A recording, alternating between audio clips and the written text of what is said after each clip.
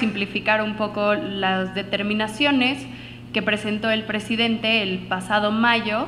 Y bueno, si podemos ver la presentación para que les pueda explicar un poco de eso y de dónde derivan, como decía la maestra María Emilia Montejano, la ideología de género. La ideología de género, según el doctor Pablo López López, profesor de filosofía de eh, la Universidad de Navarra, explica que proviene del desnaturalismo despersonalista, lo que quiere decir que es una negación sistemática de todo valor natural y sobrenatural. ¿A qué aplican este negacionismo? Se aplica precisamente a la sexualidad, al matrimonio y a la familia, que son los temas en los cuales se centra la iniciativa, bueno, las iniciativas y determinaciones del presidente. La ideología de género ha surgido como una réplica a un discurso de autoafirmación. ¿Qué es lo que quiere decir esto? Que no es una mera perspectiva, es una ideología, tiene mucho más. Viene dirigido a enfocar y a justificar eh, intereses que tienen ciertas personas. ¿Cuál es el objetivo de la ideología de género o generismo? Destruir el, el heteropatriarcado, que ahorita les voy a explicar qué es, desde la sexualidad, el matrimonio y la familia. Como nos explicaba la doctora María Emilia Montejano, el generismo nació, bueno, dicen que nació del feminismo. En realidad nació del feminismo radical que existió en los años 70 con expositoras como Shulamit Firestone y Kate Millett. ¿Qué es lo que ellas decían? Más adelante lo veremos. ¿Qué es el heteropatriarcado? El heteropatriarcado es un modelo de dominación social y cultural que se justifica en el rol de dominación del hombre, sobre la mujer. Se basa en el modelo patriarcal que se había tenido en las anteriores décadas feministas, pero ahora viene desde una perspectiva nueva que es la dominación desde la heterosexualidad. Ya no es nada más que sea una dominación del hombre sobre la mujer, sino una dominación del hombre sobre la mujer desde la heterosexualidad y no permite que haya otro tipo de relaciones sociales afectivas eh, y sexuales afectivas y sexogenéricas eh, como realidades naturales, sino que según la concepción generista, el heteropatriarcado solo acepta la heterosexualidad. ¿En qué se basa el heteropatriarcado? Bueno, bueno, ni siquiera el heteropatriarcado, el generismo. Empieza explicando una diferencia entre sexo y género que al menos a mí en la primaria me explicaron que eran lo mismo, y eran sinónimos, pero que actualmente ya no lo son, según el generismo. ¿En qué se basan? Dicen que el sexo viene de los genitales, lo determinan los genitales. Entonces se puede ser hombre, mujer o intersexual, que es la nueva categoría que se le ha incluido, que son los que antes conocíamos como hermafroditas, que ya no se puede utilizar ese nombre porque dicen que es discriminación, pero en realidad es hombre, mujer, intersexual. Eso es el sexo. ¿Qué es el género? El género en realidad es la construcción social que se hace alrededor de lo masculino y lo femenino.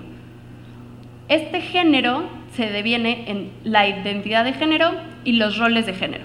La identidad de género quiere explicar la concepción mental racional que tiene una persona sobre sí misma.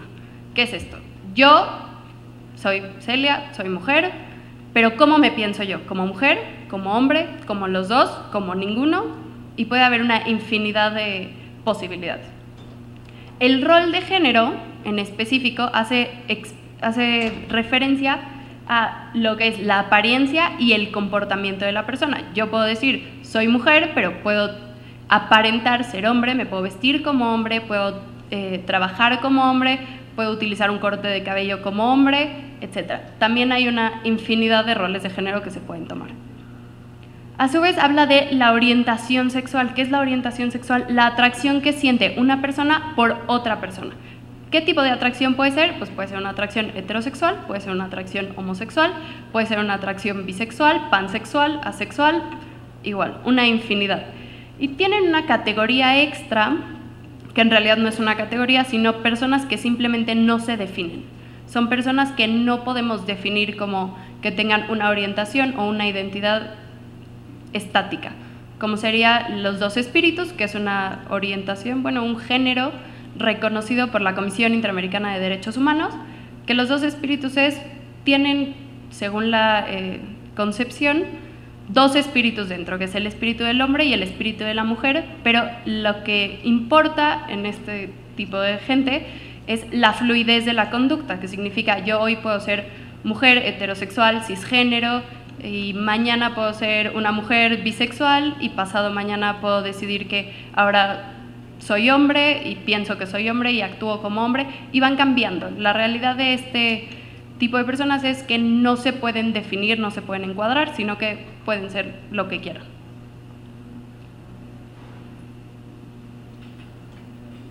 Para explicar esto, tomé unas imágenes de una página que se llama It's Pronounced Metrosexual, que explican a la persona humana desde el genderbread person, como ellos lo han llamado. Este es del 2012, que fue la primera que sacaron, que explica la identidad de género, es lo que pensamos, puede tener hombre, mujer o gender queer, que es otra de los que ellos eh, toman.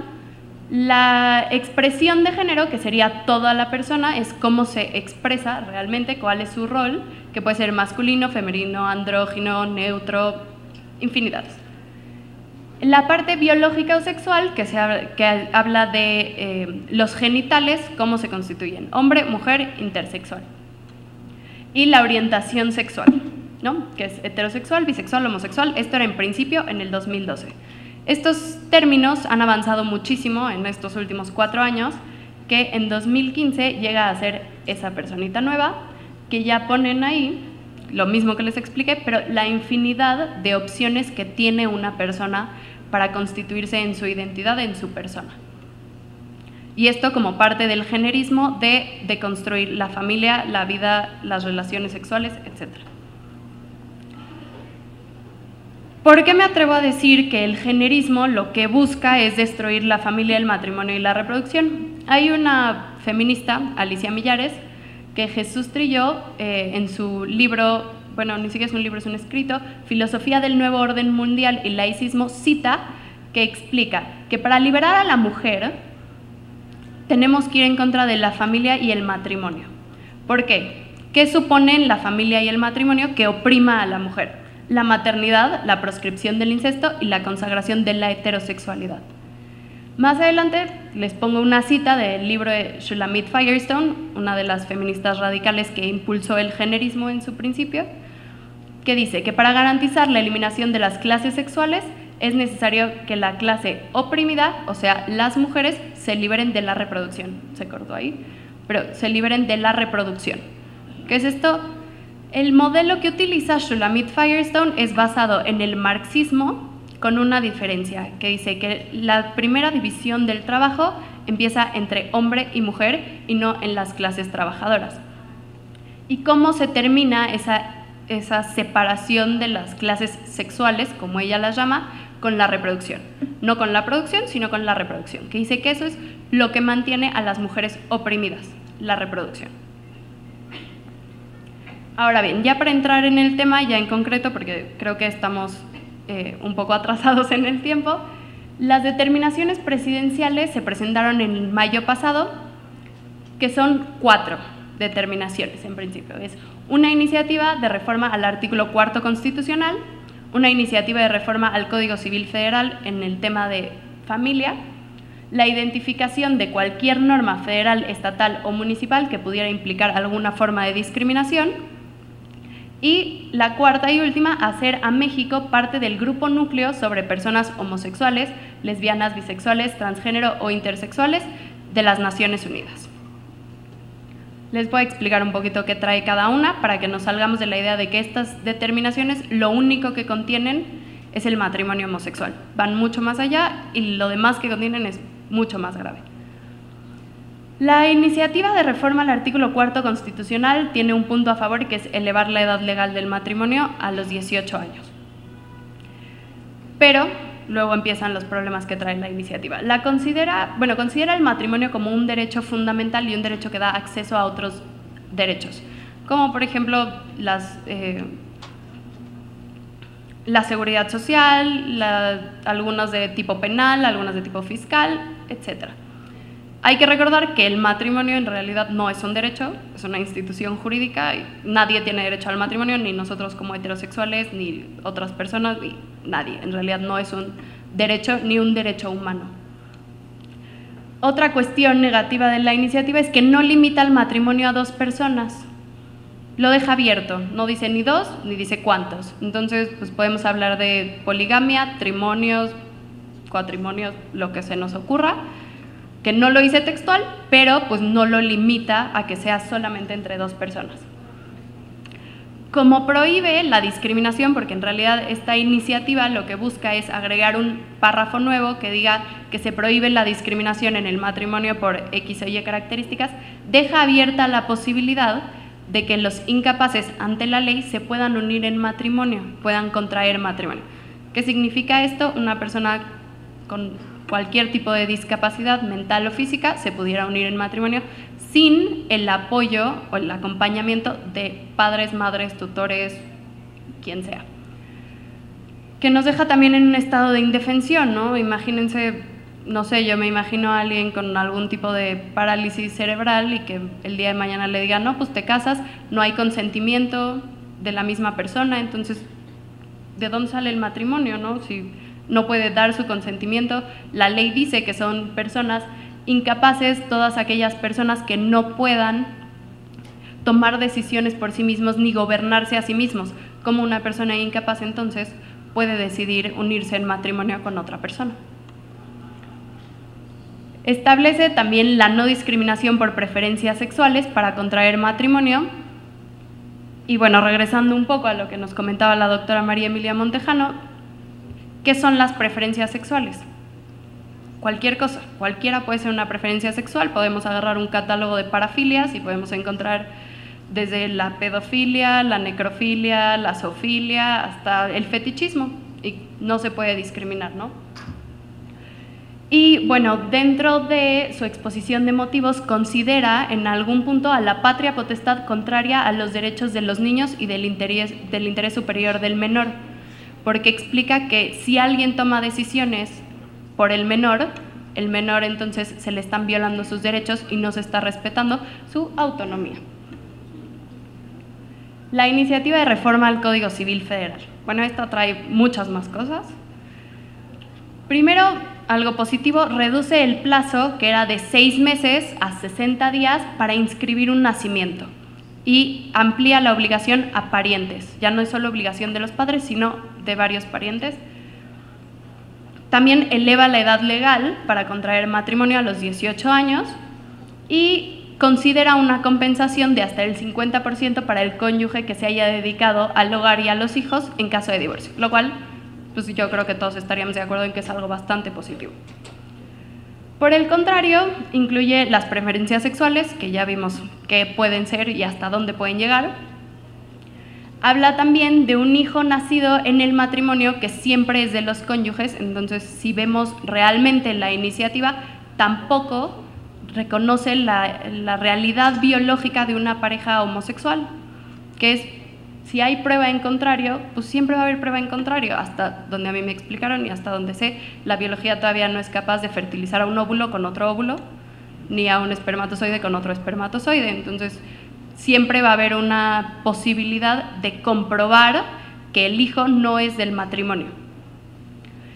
Además, elimina la necesidad de presentar el certificado médico que decía antes, bueno, sigue diciendo hasta que se cambie si esta iniciativa avanza, el certificado médico lo que busca ver a que la pareja con la que se va a casar uno sepa de las enfermedades transmisibles, incurables, hereditarias que uno tiene.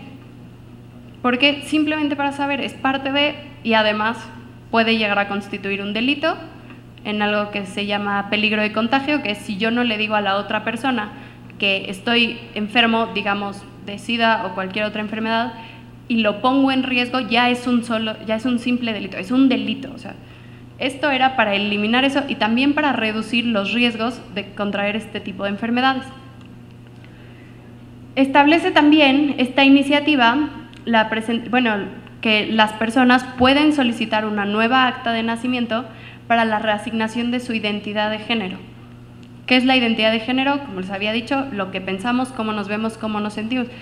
Pero veamos la realidad que tienen los dos espíritus, cuál es su realidad, qué identidad de género va a estar reconocida y cuál no, o qué acta de nacimiento van a usar, o van a usar un acta de nacimiento un día y al día siguiente la otra, y van a tener un pasaporte masculino y uno femenino, y van a tener una licencia masculina y una femenina.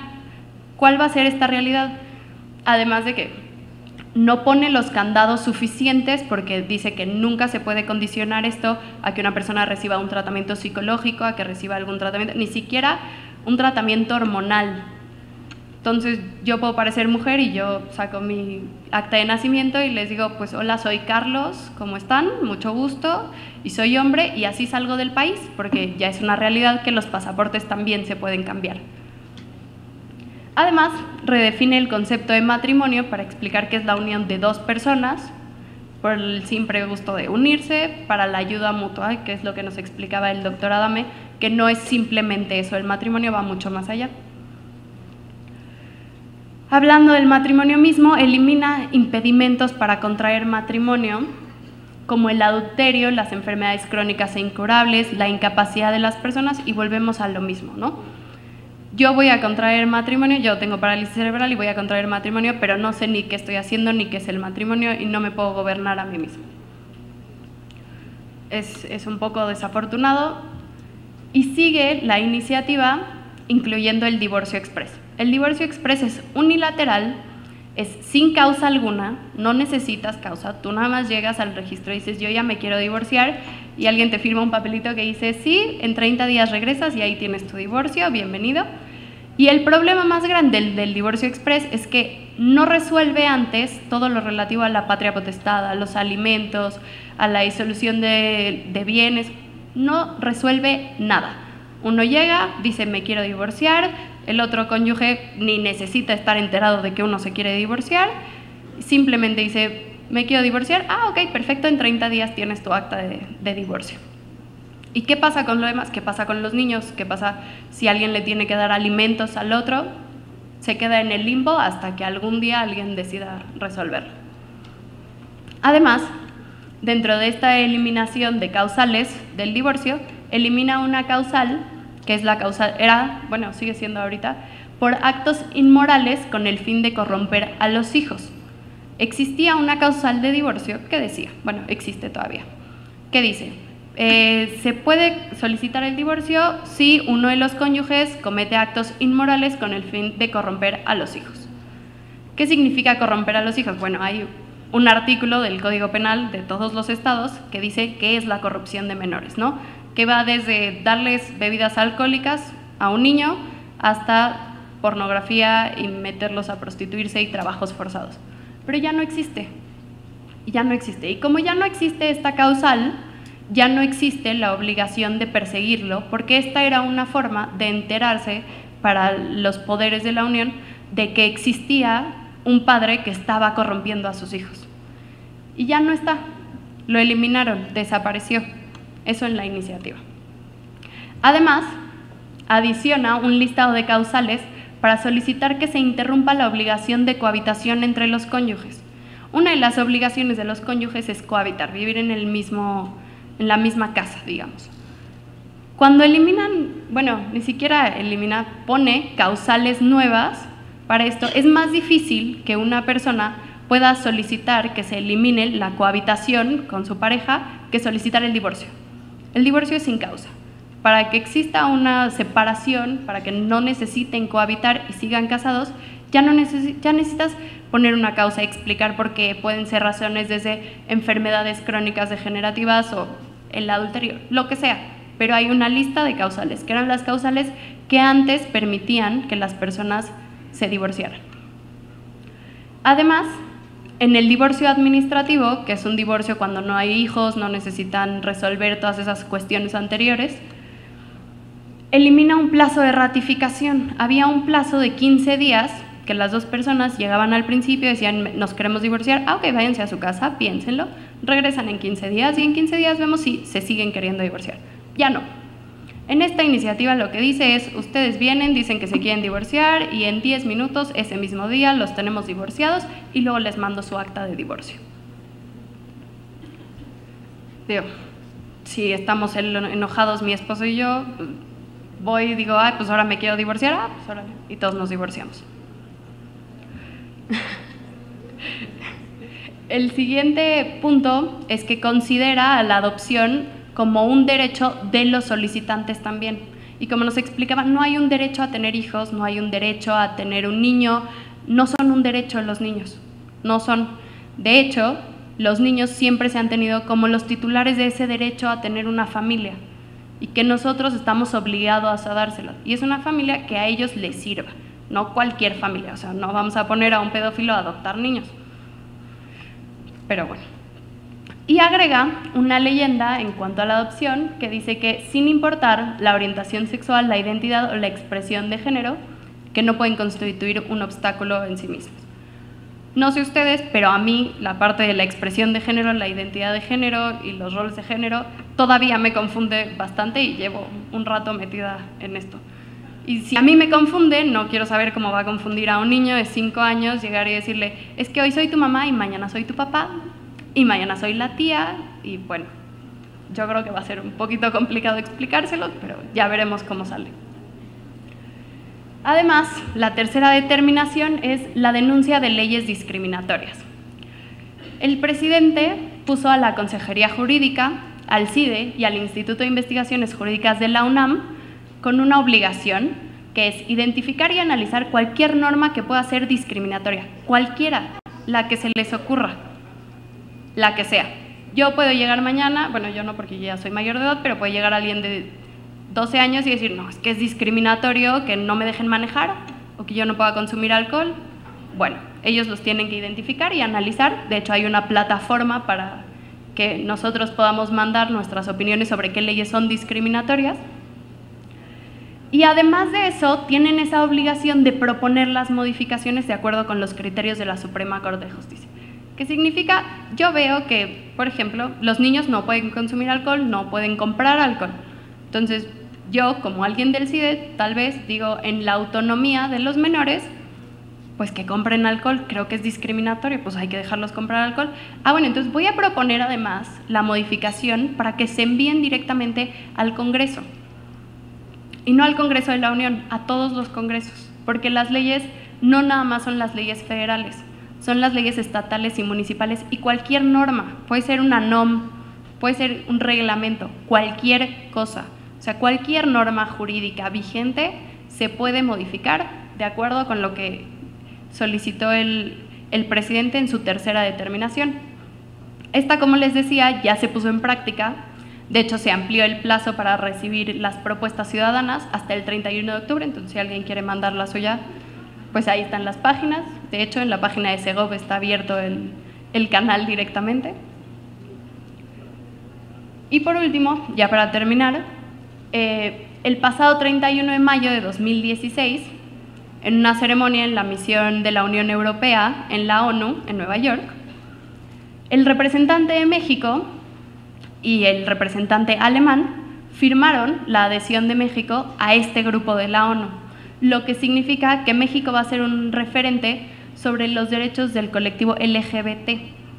Todavía no sabemos qué es todo lo que trae este comité, bueno, este, sí, el grupo núcleo de personas porque no tiene una página oficial, no tiene muchas cosas, pero lo que sabemos es que lo que buscan y lo que pelean es por los derechos de todas estas personas. ¿Qué derechos?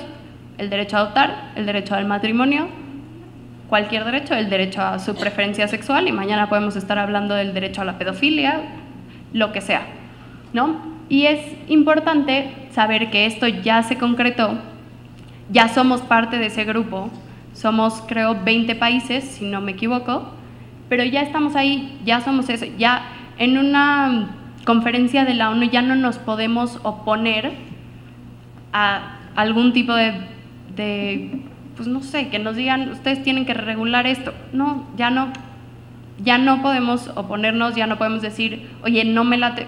En México no es un derecho al matrimonio, bueno, yo lo voy a tomar como una institución jurídica. Ya no.